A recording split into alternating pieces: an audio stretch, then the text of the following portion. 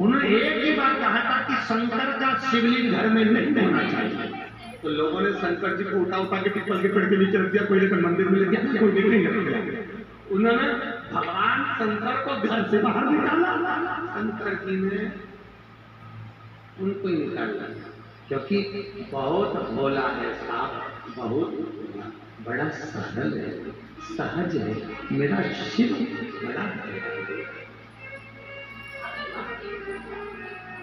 उनकी सारी नौटंकी सामने आ गई लोग देखेंगे अरे बोलो तो सुनो। क्योंकि शंकर को छल प्रिय नहीं है, शंकर को कुछ छलता प्रिय नहीं है। हम भी आपसे इतना सा निवेदन करेंगे कि भगवान शंकर को छल से, प्रपंच से कपट से, बेईमानी से ढोंग से भगवान को प्रसन्न नहीं किया जा सकता।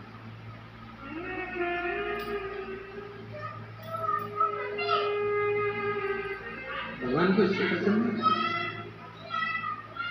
कई कई लोग बहुत नौटंकियाँ करे दादा बहुत तो इससे नौटंकी से शिव प्रसन्न